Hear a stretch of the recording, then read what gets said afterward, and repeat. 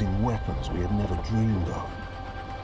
But death is death, no matter where you are. And suffering is the same in every language.